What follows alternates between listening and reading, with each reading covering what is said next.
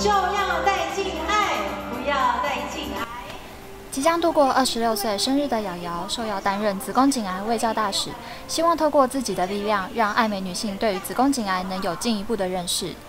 瑶瑶也说：“唯有积极预防，才能真正远离子宫颈癌。”就我在生日前有赶上打子宫颈疫苗这件事情，是因为他们说二十六岁以前打就是效果会比较好，所以这是您送你自己的生日礼物吗？我觉得是你们送我的生日礼物。但其实女生得到的风险哦，有五到七成这么高，所以我觉得就是防范胜于治疗。那现在有这么好的疫苗的话，我觉得大家都应该要去试打，然后去做预防这件事情。即将要推出新作品的瑶瑶也表示，新角色挑战很大，不是个普通人。哎，这到底是怎么样啦？好让人期待哦！应该是我有史以来面对过最困难的一个角色的挑战吧。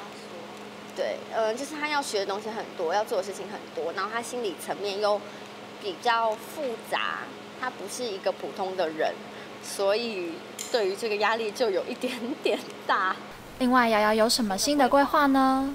我的规划就是把近期的挑战挑战完成。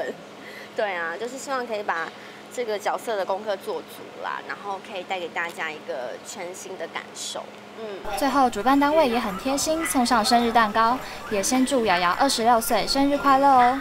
One News 新闻网子宫颈疫苗你打了没？采访报道。